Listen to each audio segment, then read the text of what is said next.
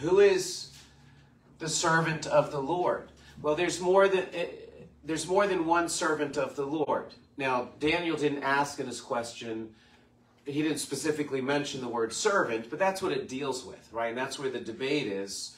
Who's the servant of the Lord? Sometimes Israel very much is the servant of the Lord, but Israel's not the only servant of the Lord, okay? So if we'll go to uh, Isaiah 41 8, and I'm going to read a lot today, and, and some of the themes are going to be kind of repeated, and I might even hit uh, a passage more than once, but, but it's going to kind of help us build up a crescendo. The climax is going to be understanding Isaiah 53, I think, okay? Because that's where it really gets heated up, right? Uh, Messianic Jews and Christians say Isaiah 53 is clearly the Messiah. Uh, non Messianic Jews say it's clearly Israel. And I think if we build up that crescendo, we're going to see there's really not that much to debate here. Um, if, if we put aside our polemics, if we put aside the desire for our particular theology to win, um, and we just read the Bible, I think the context is going to make it pretty clear. Okay, but first, okay, Israel is the servant of, Israel is a servant of the Lord. Okay? So Isaiah 41, verses 8 through 10, clearly talking about Israel. But you, Israel, my servant, Jacob, whom I have chosen, the offspring of Abraham, my friend, you whom I took from the ends of the earth and called from its furthest corners, saying to you, You are my servant, I have chosen you and not cast you off. Fear not, for I am with you. Be not dismayed, for I am your God. I will strengthen you. I will help you. I will uphold you with my righteous right hand. Okay. By the way, I'm reading from the English Standard Version of the Bible, okay, which is, is a translation I really like. I also like the Tree of Life version of the Bible. The problem with the Tree of Life version is they don't have a version of their Bible out yet with wide margins where I can take notes. And so, um, so, uh, but it is a Christian version of the Bible uh, I'm not sure in this case if it might be a verse or two off here and there. I know earlier in Isaiah that happens. It may happen here. So if you have a Jewish version or a Messianic Jewish version, and I say verse 8 and it's actually verse 7, just, just look a, verse ahead or, or below, okay? Anyway, we see clearly there that's Israel is a, is a servant of the Lord, okay? Uh, 43.10, we see the same thing. You are my witnesses, declares the Lord, and my servant whom I have chosen, that you may know and believe me and understand that I am He. Before me no God was formed, nor shall there be any after me. Lord, just guide us through this in Yeshua's name. So here we have uh, Israel is a witness, and Israel is God's servant. And those two overlap. What is the nature of Israel's servanthood? It's that Israel is a witness. Isaiah 44, verses 1 through 5.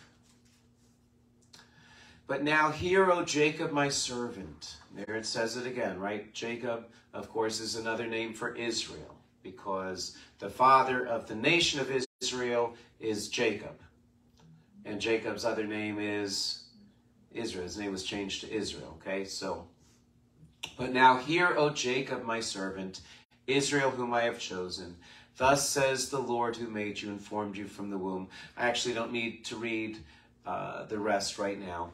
The main point here is it's mentioning Jacob slash Israel as God's servant. Okay? So, so that's clear. The problem is, is that some people will read those portions about Israel being God's servant and assume that the servant is always Israel. And the reason I know they do that is because I've had many discussions with Jewish people and non Jewish people who have rejected Yeshua. I've had discussions with them, they say, See, Israel is God's servant. And so when Isaiah 53 says servant, it's got to be talking about Israel.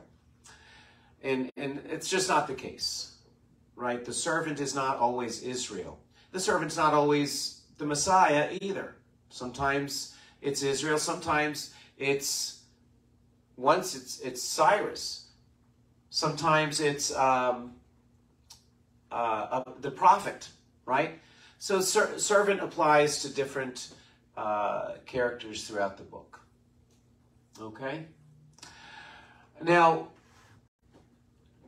this is difficult to discuss, but it's here.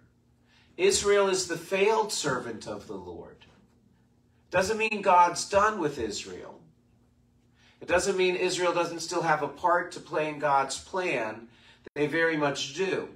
But the part that Israel plays in God's plan is not, look at me, how righteous I am, but something else that we'll get to later. But first, just some verses to clarify Israel as the servant of the Lord in Isaiah's day is the failed servant.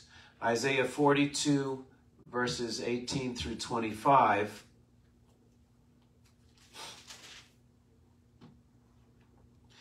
Hear you deaf and look you blind that you may see.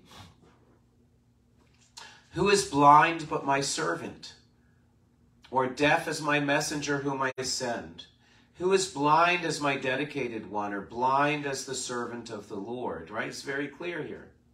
Okay, Israel is blind and deaf as uh, in her role as servant of the Lord. He sees many things, but does, does not observe them. His ears are open, but he does not hear. The Lord was pleased for his righteousness' sake to magnify his law, his Torah, and make it glorious. But this is a people plundered and looted. They are all of them trapped in holes and hidden in prisons. They have become plunder with none to rescue, spoil with none to say restore. Who among you will give ear to this, will attend and listen for the time to come? Who gave up Jacob to the looter and Israel to the plunderers? Was it not the Lord against whom you have sinned, in whose ways they would not walk, and whose law they would not obey? So he poured on them the heat of his anger and the might of battle. It set him on fire all around, but he did not understand. It burned him up, but he did not take it to heart. Okay, it's pretty clear there. Israel's uh, failed in her role. 43 verses 22 through 28. You did not call upon me, O Jacob, but you have been weary of me, O Israel. You have not brought me your sheep for burnt offerings or honored me with your sacrifices. I have not burdened you with offerings or wearied you with frankincense, yet you have not bought me sweet cane with money or satisfied me with the fat of your sacrifices. But you have burdened me with your sins. You have wearied me with your iniquities. I, I am he who blots out your transgressions for my own sake, and I will remember your sin. I, I will not remember your sins. Put me in remembrance. Let, let us argue together. Set forth your case that you may be proved right. Your first father sinned, and your mediators transgressed against me. Therefore, I will profane the princes of the sanctuary and deliver Jacob to utter destruction and Israel to reviling. Israel's going to be punished for failing to uh, follow the Lord. Okay. 49 verses 18 and 19.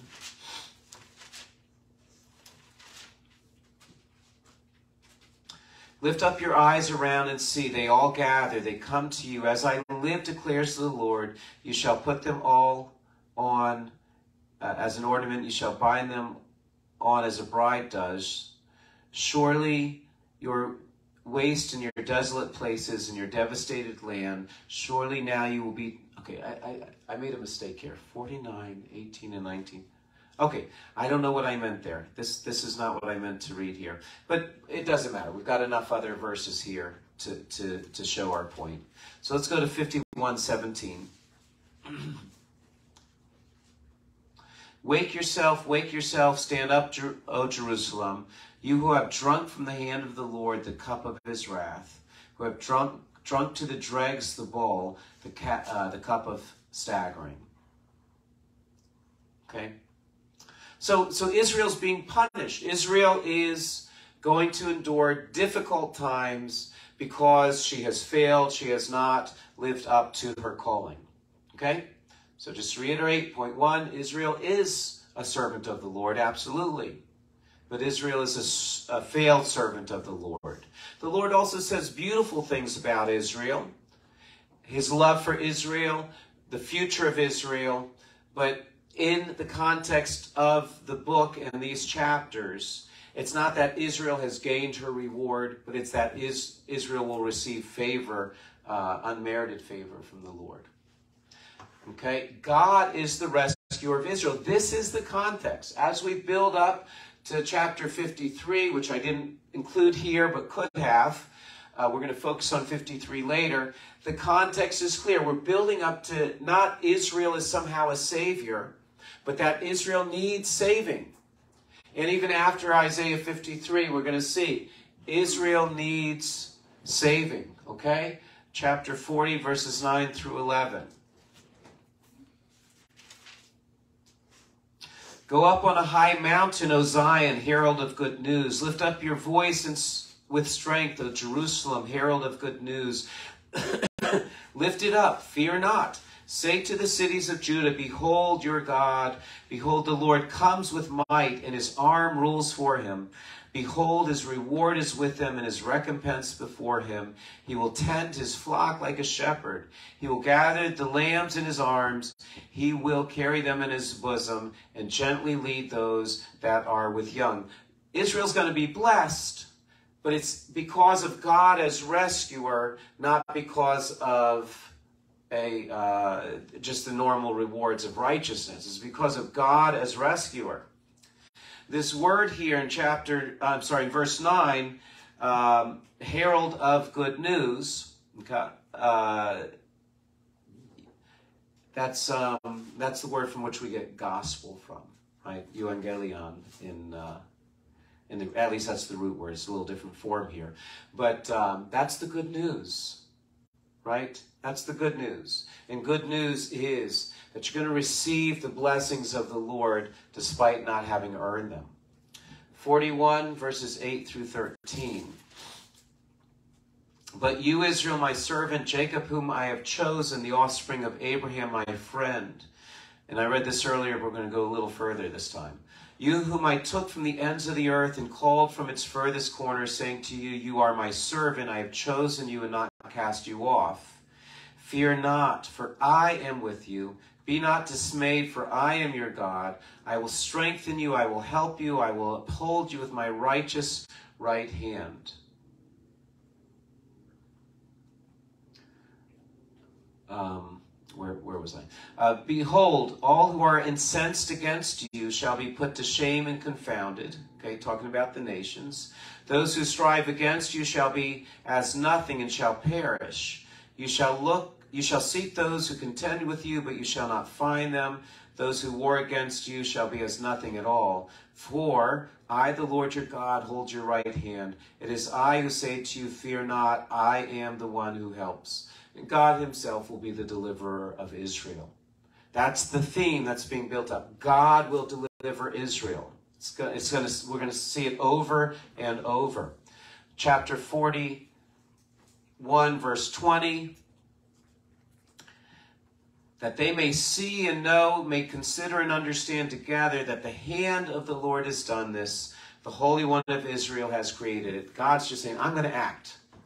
I'm going to unilaterally act. My own hand is going to do it. In another verse, my own right arm will do it.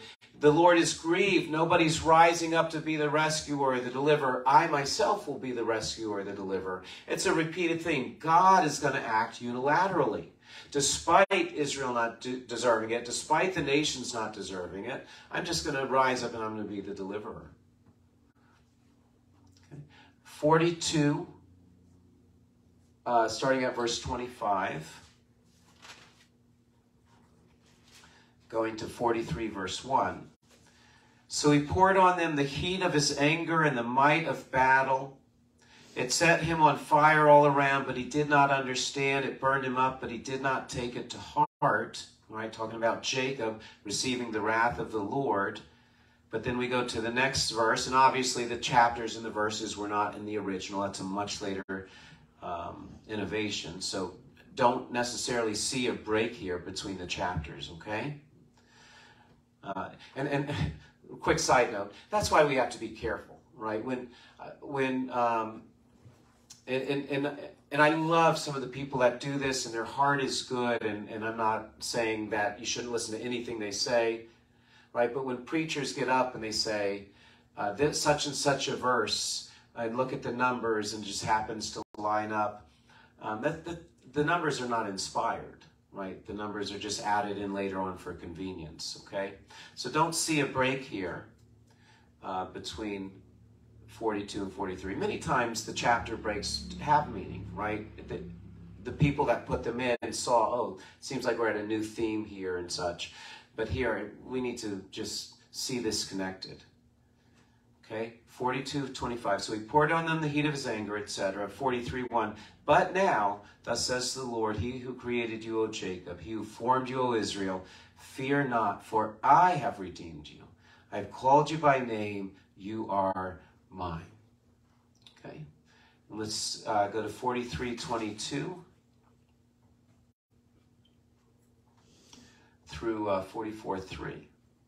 Yet you did not call upon me, O Jacob but you have not, not been, uh, but you have been weary of me, O Israel. You have not brought me your sheep for burnt offerings or honored me with your sacrifices. I have not burdened you with offerings or wearied you with frankincense. You have not bought me sweet cane with money or satisfied me with the fat of your sacrifices. But you have burdened me with your sins. You have wearied me with your iniquities. Because we read some of that earlier. Okay, Israel's the failed servant in the midst of Israel being the failed servant, here's how the Lord responds. I, I am he who blots out your transgressions for my own sake, and I will not remember your sins. Put me in remembrance. Let us argue together. Set forth your case, that you may be proved right. Your first fathers sinned, and your mediators transgressed against me. Therefore I will profane the princes of the sanctuary, and deliver Jacob to utter destruction and Israel to reviling. But now hear, O Jacob, my servant, Israel, whom I have chosen. Thus says the Lord who made you, who formed you from the womb, and will help you. Fear not, O Jacob, my servant, Jeshurun, which is a, a term of endearment for Israel that God, God uses for Israel. Jeshurun, whom I have chosen. For I will pour water on the thirsty land and streams on the dry ground. I will pour my spirit upon your offspring and my blessing on your descendants. Okay? This is the theme. Israel sins. Israel endures the punishment of the Lord. Israel gets the deliverance and the blessing of the Lord. God is setting himself up as the righteous deliverer of Israel in the midst of Israel's unrighteousness. Okay? 44, verse 22. I have blotted out your transgressions like a cloud and your sins like a mist. Return to me, for I have redeemed you. Even before they've returned, I've blotted them out. Now return to me, right? The Lord is working as a redeemer in the midst of Israel's unrighteousness. 51, 17 through 23.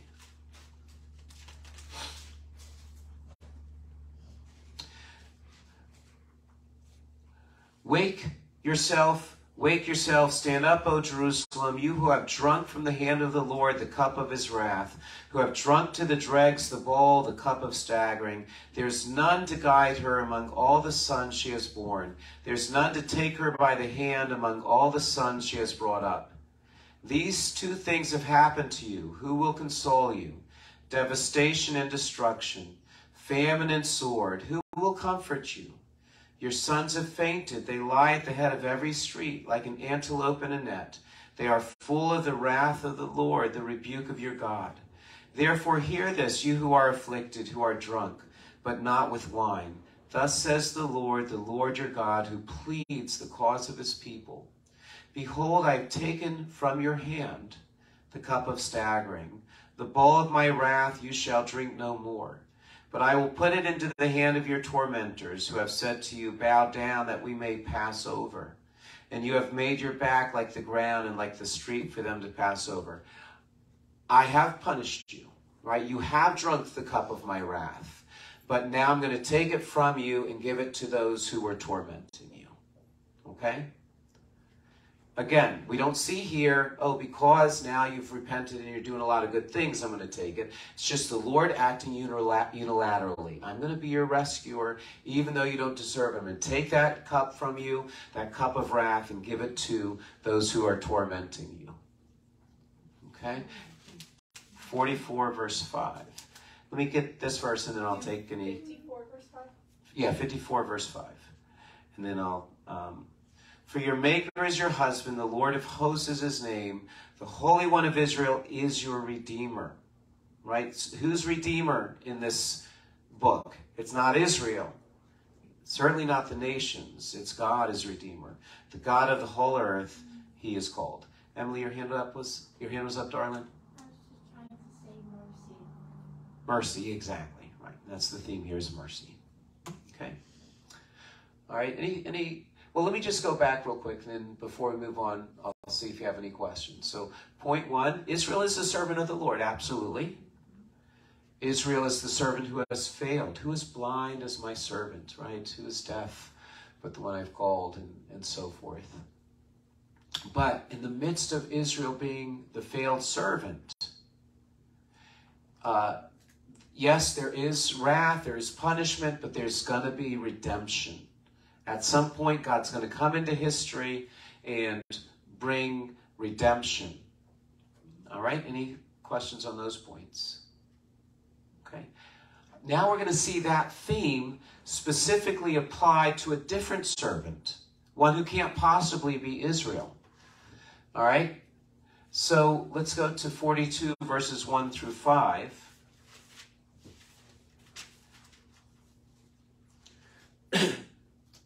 And this is where I got into a, a debate online with um, with a rabbi who um, not not a messianic rabbi who says, "Oh, this is talking about Israel." It's not talking about Israel, right? We got into the Hebrew. He couldn't show me even from the Hebrew because that's that's that's often uh, the debate you'll get. Oh, you're you're looking at it at the English, but we're able to read the Hebrew. Right. most American Jews cannot read Hebrew, and even, even if they can read it, they, they don't. And I'm not saying that out of any kind of disdain or anything like that. I'm just it's just a fact, right?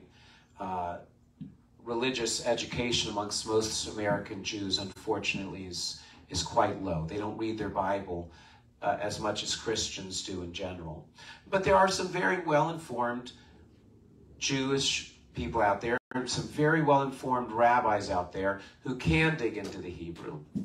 Uh, and so if we don't know what we're talking about, um, then, then, you know, we, we got to get our education level up, right? And that's part of the reason for this uh, discussion, right? Um, part of the reason.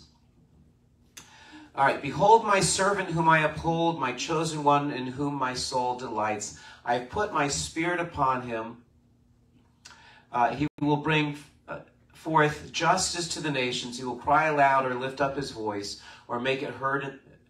He will not, uh, I'm so sorry. He will not cry aloud or lift up his voice or make it heard in the street. A bruised reed he will not break, and a faintly burning wick he will not quench. He will faithfully bring forth justice. He will not grow faint or be discouraged till he has established justice in the earth and the coastlands wait for his law. I'm so sorry my whole prelude to this, I was actually thinking Isaiah 49, right? So anyway, here we see a, a servant. Maybe you could make it fit Israel. Uh, I think it fits Yeshua much, much better, okay? Um, why? Well, first of all, we're talking about some, some entity, be it an individual or a nation, who's righteous. And in the context of this, Israel is not the righteous nation right? Israel, we've got too much going on, and we could go way back in Isaiah, way back earlier in Isaiah, and see all the judgments, all the it, Isaiah starts out very harsh.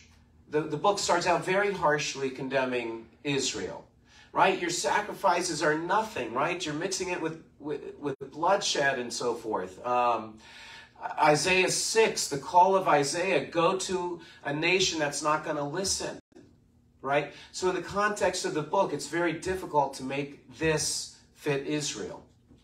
Um, but the next one, it's even more clear. And this is the one I was referring to earlier about the debate I had with, with a rabbi. But, um, but let's read this and see. Listen to me, O coastlands, and give attention, you peoples from afar. The Lord called me from the womb, from the body of my mother, he named me. We could be talking about, so far at this point, could be about the Messiah, or it could be about God's creating and calling forth Israel. Okay, so so, so far we don't know. He made my mouth like a sharp sword. In the shadow of his hand he hid me. He made me a polished arrow. In his quiver he hid me away, and he said to me, You are my servant Israel. It looks like it's about Israel because it says Israel here. My argument is going to be that can't be Israel, and we'll see why in just a little bit, but that the servant who's not Israel as a people is being called Israel because that servant takes up the role of Israel. Okay? Israel, you're called to be my witnesses. You're called to um, make my Torah glorious. You're not doing that.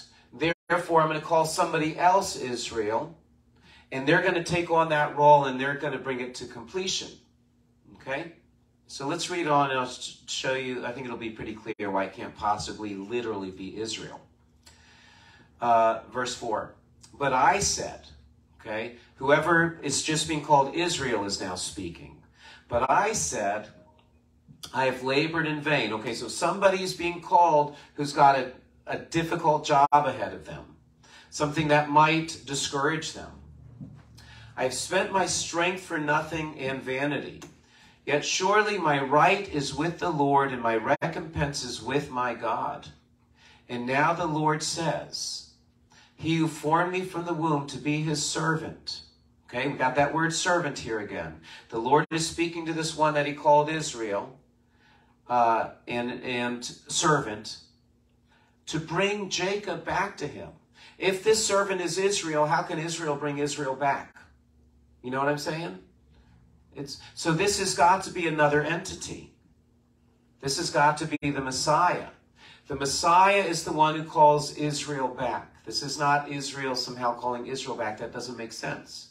And now the Lord said, He who formed me from the womb to be his servant, to bring Jacob back to him, that Israel might be gathered to him. That's one of Yeshua's roles, is to bring Israel back to him. Yes? Could we thought someone inside Israel is going to be doing that? Like, Yeah. That's how always, always you know, Yeshua is. Right. Yeah. Yeah, definitely. Okay, Definitely. just want to make sure. Yeah. Yes, sweetheart. Not to mention, um, the, I, I, there was a prophecy inside a, the Isaiah Mhm. uh, uh, that uh, um, uh, the Messiah uses uh, is uh, to call the um, the leaders of Israel hypocrites. The, um, Oh.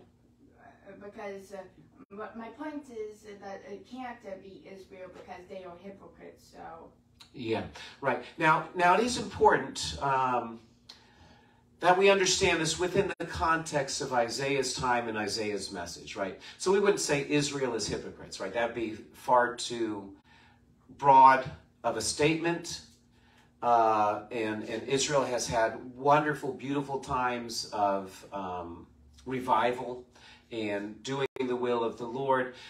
And there, even when Israel is going astray, there's a remnant that remains righteous. So, uh, so Emily, you're right, but I would just say let's not use that language. Israel is hypocrites. We- would say pe- some people within Israel are are hypocrites, or Isaiah's message in this particular case is about Israel and their hypocrisy. Um, so, but but we do need to limit it. All right, now. Um, going back to verse 5 and now the lord says he who formed me from the womb to be his servant we have a servant that's going to bring jacob back. So that's proof right there the servant's not always israel. To bring jacob back to him and that israel might be gathered to him. For i am honored in the eyes of the lord and my god has become my strength. He says it is too light a thing that you should be my servant to raise up the tribes of jacob and to bring back the preserved of israel.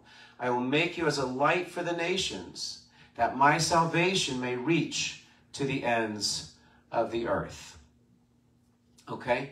What we see here is the bigger theme of God redeeming Israel, now being placed on the servant. It's the same theme. Sometimes we just hear about God doing it, and, and now we get to hear about the servant doing it. Right? Make sense? So it's it's it's the same context, the same thing. Israel, you are wayward. Israel, even though you're going to go through times of punishment, I'm going to redeem you. And now we see the servant's role in that. The servant's role is the redemption of Israel and it gets enlarged and the light of the nations. Okay? All right, now we get to Isaiah 53 a little bit. Isaiah 53 11. Out of the anguish of his soul he shall see and be satisfied. By his knowledge shall the righteous one, my servant, there we have the word servant again. Uh, by his knowledge shall the righteous one, my servant, make many to be accounted righteous, and he shall bear their iniquities. You, it, it, doesn't go with the flow of Isaiah.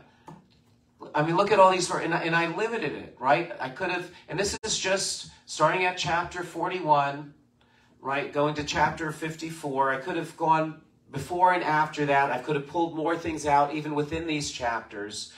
The theme is overwhelmingly strong. Israel has failed, God will redeem. To then say, well, within Isaiah 53 uh, is something totally different.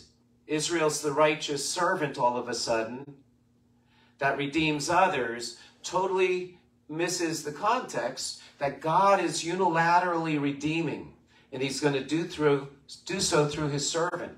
Let me, um, well, let's, let's see, did I put this up here? Um, okay, yeah. So, uh, so here I wrap up some of those themes, okay? Isaiah exposes Israel's sin, but the servant of Isaiah 53 is without vi uh, violence or deceit. Okay, verse 9. This one suffers in innocence Okay, I'm going to read 53 9. And they made his grave with the wicked and with a rich man in his death, although he had done no violence and there was no deceit in his mouth. That's not the theme of Isaiah. Look how good Israel is, suffering unjustly. How can you have chapter after chapter after chapter exposing Israel's waywardness and Israel's sin, and then all of a sudden have a chapter where you say, oh, that must be Israel suffering in innocence? Janelle? Um, okay, sorry, I'm, I've just gotten confused by the pronouns in Isaiah 49. Yeah. It appears to be the suffering servant talking in this. Is that correct? Uh, yeah, yes. Okay, I just wanted to make sure. So, AKA, as we would say, Yeshua is talking. Yes. Okay, just want to make sure I understood the pronouns correctly. Yes, you got it. Okay. Okay, so Israel's not, Israel can't possibly be the righteous sufferer after having chapter after chapter after chapter of being denounced for their waywardness. And the theme is, I will redeem you. So it fits much better to see that this servant of the Lord is the one through whom God will do the redeeming of Israel. There's no other chapter you can point to where you say, see, Israel redeems the nations. Israel saves the nations. It's always God does the redeeming. And so he does so through, through the Messiah, which our understanding of the full um, association of Father and Son and Spirit. So when the Messiah comes, he's the fully divine Messiah. And we believe, we believe uh, seriously. Uh, Isaiah chapter 9, right? The one who's born. Wonderful counselor, mighty God, everlasting Father, Prince of Peace, right? These are incredible names to give a child who's born. And so it's not like Messiah is something or someone other than God doing the redeeming. This is God doing the redeeming. Yes. Um, it, how does capitalization work in Hebrew? There isn't any. There isn't any. Mm. So when there's a capital servant, capital servant, lowercase servant, that's just an, an interpreter's. Yeah, that's a theological reflection on okay. it. Okay. Yeah. I just want to make sure I yeah. understood that. Okay. Yeah. Okay. All right. So so anyway, this righteous one who suffers on behalf of others has got to be something other than Israel because Israel's guilty. Right? That's it's a if you read Isaiah closely, especially these chapters, you see it's a law case. Right? It's it's a God has it's like a courtroom scene. Sometimes it's God against Israel, sometimes it's God against the nations. When it's God against the nations, Israel becomes a witness. Some, some, sometimes inadvertently, right? Even if they're not being a good witness, they're still a witness. Do you see, O nations, what I what I've done with my people, my faithfulness to my people? Or Israel, we're, we're, we're in a we're in a courtroom basically. Right? And here's my proof Yeah. right? And so, uh, within that context of God having a court, a, a, a lawsuit against Israel, we're not going to see, oh, you're you're innocent. You're, we're going to see you're guilty, but I'm still going to have mercy on you. Okay. Um, the righteous servant rescues both Israel and the nations, as we saw in 49 6. How can Israel rescue Israel? Okay, so Israel can't be the righteous servant. Point three the righteous servant suffers in innocence, but God promises that Israel will be blessed when innocent and only cursed when guilty. In other words, to see Israel as a righteous sufferer is anti Torah. Say that one more time.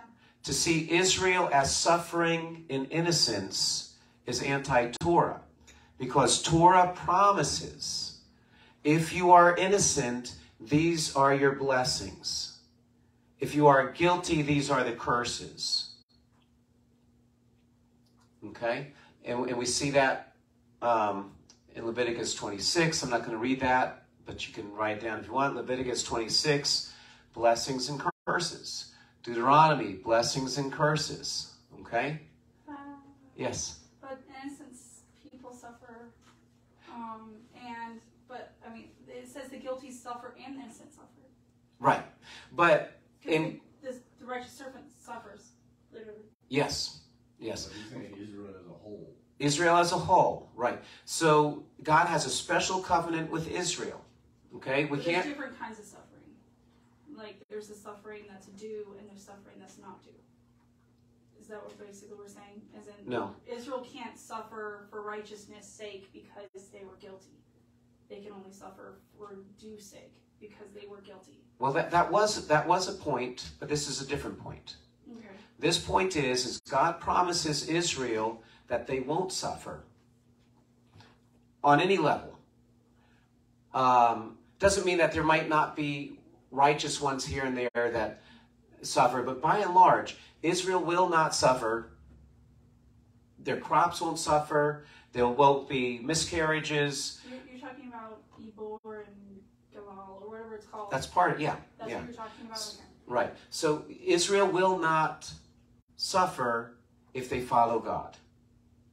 Okay? It's a special covenant. It doesn't mean that you and I will never suffer if we follow God. Right? It doesn't mean that America, uh, if we follow God, everything's going to be perfect. It, it, it's a special covenant with Israel. Mhm. Does he mean suffering from his hand? Like, I won't cause you to suffer? Because there's still suffering of a fallen world that we all experience. I, what I would suggest is that you go back and read those chapters and, and see. God promises protection, right? God promises protection. Now, it, it, it's pretty encompassing, right? Those chapters of blessing and cursings are, are pretty encompassing, especially in an agrarian society. Okay, the, I'll have the rains. My cattle will always give birth, right? Uh, my enemies will be scattered before me. That's the promise. And so, with Israel, when you see suffering, it's a sign that something's wrong in their relationship with God. Right? We can't overly apply that to ourselves. Yeshua tells us we're, we're going to suffer. But this was the Mosaic covenant. And so, if we see Israel suffering in innocence because of the sins of others, and that's the non messianic Jewish line That's that's their that's the point that they tried to make their argument. And God bless them. I please, um, you know, we can't have anything but a posture of love towards our people. You know, our people have been through so much, uh, and and this is not to lay fault or to be derogatory towards Israel, but it is to say they're they're wrong here, and they need to know they're wrong so they can see Messiah. If Israel is enduring terrible things.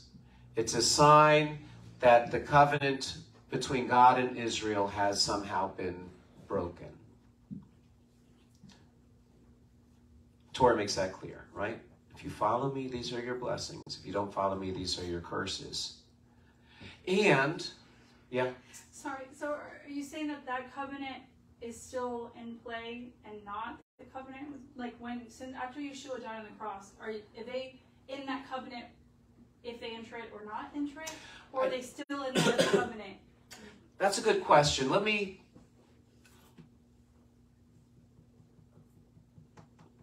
let me not answer that right now. Okay, sorry. That's no, it's a good, it's a very good question, uh, but I think it's going to take too much time to answer that. Okay. I do want to address it in the future, though, so so keep that question in mind. Remind me of it. Well, Okay, let me write it in my notes. good idea. All right, um, but during this time, this is before Yeshua came, right? So even even if there's some transition there, um, it doesn't it doesn't apply uh, in the book of Isaiah. So, um,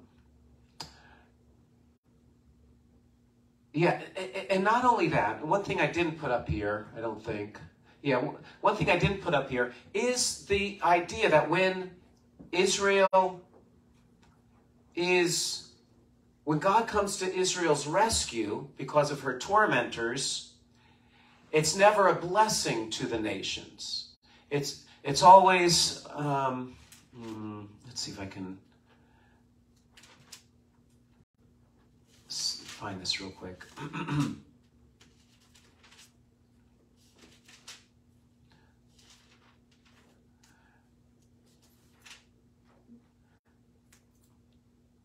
okay, yeah. Uh, chapter 41. This is God saying, I'm going to come to your rescue, Israel. Okay? Verse 14. 41 14. Fear not, you worm Jacob, you men of Israel. I am the one who helps you, and declares the Lord. Your Redeemer is the Holy One of Israel. Behold, I make of you a threshing sledge, new, sharp, and having teeth. You shall thresh the mountains and crush them, and you shall make the hills like chaff. You shall winnow them, and the wind shall carry them away, and the tempest shall scatter them. And you shall rejoice in the Lord, in the Holy One of Israel. You shall glory. So, so the theme here, and it happens in other places as well, is that when God comes to rescue Israel from her tormentors, the tormentors are scattered like chaff. Israel becomes a, a, a, an instrument, a weapon against those. And so Israel's redemption is not the blessing of the nations, but the punishment of the nations. God rescuing Israel is the punishment of the nations. But we see something different, something unique in Isaiah 49 and 53. We see that somehow this one who suffers in innocence is brings blessing to the nations. Right? All throughout the Bible we see this. We never see in the Bible, Israel, when I come to rescue you from those who torment you, I'm going to bless your tormentors. Don't think we ever see that. Israel, when I come to rescue you from your tormentors, your tormentors better look out. They're in trouble. But somehow some other figure comes and suffers in innocence, and, and God's vindication of that suffering servant somehow brings, brings blessing on Israel and the nations. It's a different scenario. God's doing something unique here. Make sense? Okay. Uh, now, the high status of the righteous servant, okay? Uh, don't need to read through all of this, right? God's Spirit is upon him. Isaiah 42, verse 1. He establishes justice on the earth, verse 3. The coastlands wait for his Torah, verse 3, right? This is, this is a powerful, powerful figure. Isaiah 49 6, he's a light to all the world. This is a phenomenal, powerful figure. 52 13, he's high and lifted up. Now, those words in Hebrew, uh, Ram and Nisa, okay, the meaning and, Ram Vanisa, high and lifted up. In the book of Isaiah, we see this only declared of God. Okay, it happens two other times. Isaiah 6 1, in the year that the king Uzziah died, I saw the Lord. He was high and lifted up. Same words, Ram Vanisa, sometimes a little different form depending on where they are in the sentence and their function in the sentence, but the same root words. Ram Vanisa. Who's Ram Vanisa? God, of course.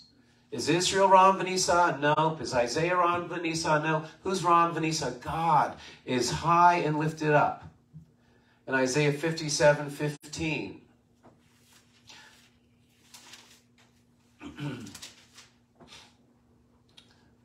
For thus says the one who is Ram Vanisa, high lifted up. Right? Talking about God, who inhabits eternity, whose name is holy. I dwell in the high and holy place, and also with him who is of a contrite and lowly spirit, to revive the spirit of the lowly and to revive the heart of the contrite. God is Ram Vanisa. But in Isaiah 52 13, which really should be thought of as part of Isaiah 53, my servant shall act wisely, and he shall be Ram Vanisa. Right? The servant is high and exalted like God is high and exalted. It's pretty, it's pretty powerful stuff. And I think, mm-hmm. again, we can go back and look at Isaiah chapter 9. He's El Gibor, he's God Almighty. Right? Not only that, but we see God saying things like, you know what? I'm going to bare my holy arm. No one else is going to redeem. I'm going to redeem. Well, if God says, I'm going to redeem, and then we see the servant redeeming, there's a unity there between God and the servant that's powerful. That's why this idea, uh, the idea of the full divinity of Yeshua, that within God we have Father, Son, and Spirit. The reason that's so important is because the servant of God does what only God should do, receives worship and rulership that only God should receive. And if he is something other or someone other than God, then it's it's idolatry, right? Yeah. Um, I think that's reflected in some of the parables that Yeshua spoke, where it talks about him sending servants, Yeah. and then he sent his own son, Right. And yeah. Yeah, exactly. Exactly. Yeah, in fact, that, that parable came to my mind. I, I forgot to include it, but you're, you're right. So, um, Because it shows God's Yeshua's divinity. shows his divinity, right? And it shows that the servant Israel needs a servant sent to her herself, right? All right. Any other thoughts on this? All right. Uh, and I'm not going to read through these, but we also have the witness of the New Testament that applies uh, Isaiah 53 to Yeshua. Okay? Matthew 8, 14 and 17, etc. Right? So, um, and we have a variety of writers there. Okay? Whoever wrote the book of Matthew, whether it's Matthew or not, John is a witness, Luke's a witness, Peter's a witness. Uh, we have Luke again because Luke, Luke wrote the book of Acts. And then we have Paul, right? So we have Matthew, John, Luke, Peter, and Paul. We have five witnesses in the New Testament. Hey, this passage is about Yeshua, right? All right, now, spiritual lessons for us, and then uh, I'll open up for any comments or questions. Um, we, we need to understand this how much the rescue of Israel and our own rescue is based on the Lord's work alone. You know?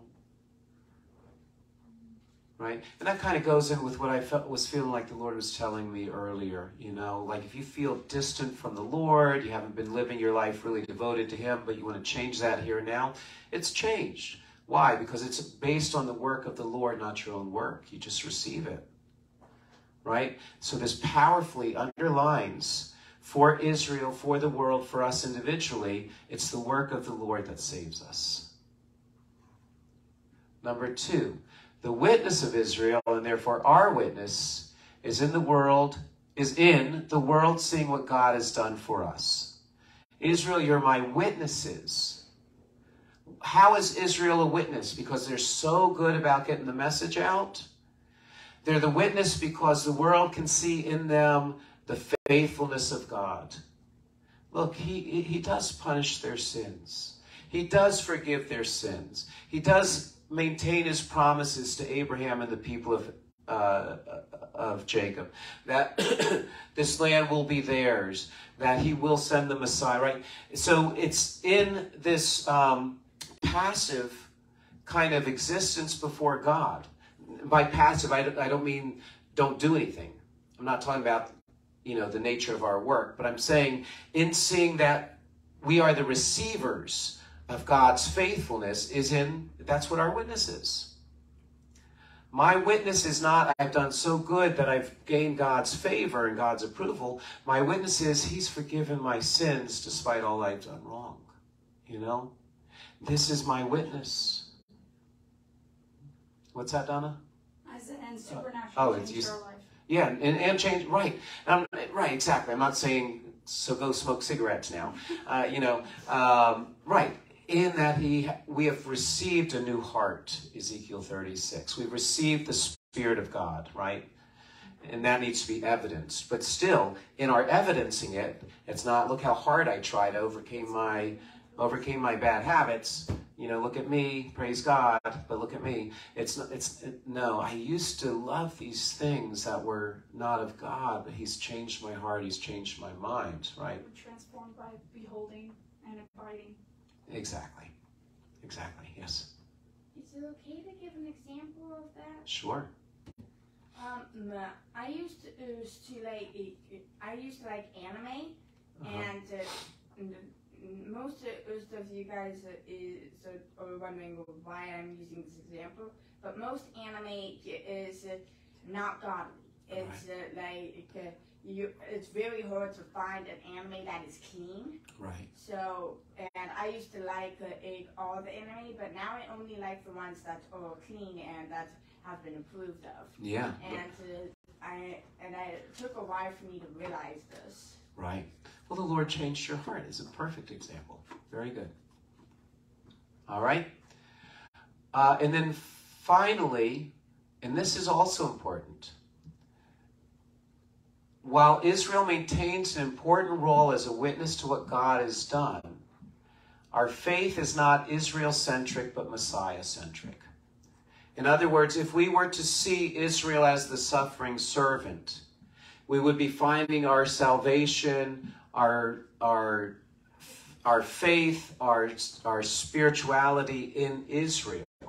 God loves Israel. This is not anti-Israel. God loves Israel. God has a plan for Israel, right? Yeshua says of Jerusalem that we're not going to see him again until they say, Baruch haba b'shem Adonai. Blessed is he who comes in the name of the Lord. Israel has an important part, a important component in God's plan and in God's heart. Right? Paul weeps over Israel. Yeshua weeps over Israel. We should be as well. We should be in love with Israel. But we are not defined. Our religious practice, our spiritual practice is not defined within Israel, but within the Messiah. And that's different. And, and, and I deal with this issue all the time, uh, unfortunately. Not, not with you guys, but uh, with, with people I converse with um, online and sometimes face to face, right? They define their practice within Israel. If Israel is doing this, I should be doing this. Well, maybe, maybe not, right? Ultimately, everything that you are defined in is should be in Messiah. Messiah is the central figure of Isaiah, not Israel. Messiah is the suffering servant, not Israel. Messiah is the redeemer, not Israel. And so my faith is not in Israel, in her practices, in her faithfulness to God, which comes and goes, but it's in, in the Messiah. He alone is my redeemer and my rescuer. And that will change things on the ground. Right? That'll change some of the decisions I make. I used to pray daily from a traditional Siddur, and I felt God's presence in it, right? But but eventually I got to the point where I couldn't anymore. Here's what would happen. I would start praying from the Siddur, which is a traditional Jewish prayer book. And I would sense God's presence with me. And I would get like really spiritually excited to the point where I couldn't even stay focused on the page anymore and I just had to put it down and, and just worship the Lord and bow before Him and sometimes even run around before Him, right? Stuff I don't normally do in front of people, but I just, but eventually it started happening like sooner and sooner. Till, uh, till it got to the point where I couldn't even open the Siddur anymore. It's just, bam, I'm in the presence of God. I don't need the Siddur right? I'm not saying the Siddur is necessarily bad. There are some things in it that are questionable, some beautiful things in it, but I don't need the Siddur. I'm just because, but but if I have this mindset of my faith is defined by Israel, then it's like no, I've got to do the Siddur. This is what Jewish faith does. Jewish faith is in the Siddur. Jewish prayer is in the Siddur. But if I don't define it that way, I define it in Messiah then the Siddur could be or not be a tool, depending on how the Spirit leads me. But in Messiah, that's how I'm defined. And it gives me the freedom then to be led by the Spirit. Do I accept this or not accept this for my prayer time today? And usually it's not, at least for myself, right? And so uh, your identity, my identity, our faith is not faith in Israel but it's faith in, in the Messiah. It's defined and led by the Messiah and the Spirit of Messiah. Right? And any thoughts or questions? See what happens when you ask a question, Daniel? So, well, I, I, appreciate the question. I really do. I hope uh, hope I didn't go on too long, but um, it, it's a good question.